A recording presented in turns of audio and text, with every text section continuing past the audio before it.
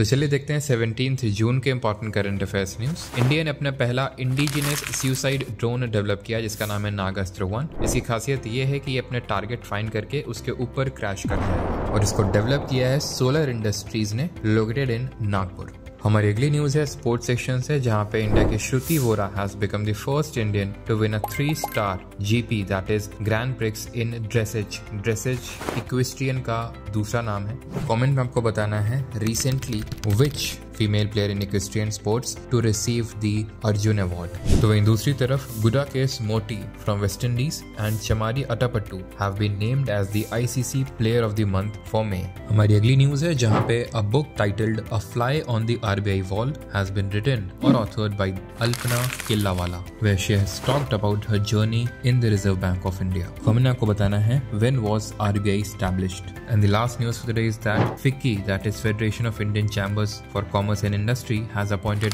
Jyoti Vij as its new Director General. Talking about the organization, it was formed in the year 1927 by Ghanshyam Das Birla and Purushottam Thakur Das. Thank you.